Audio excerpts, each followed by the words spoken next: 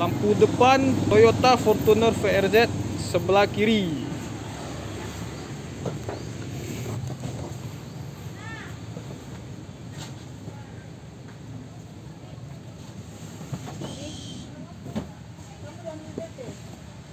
Udah bentar nih ya.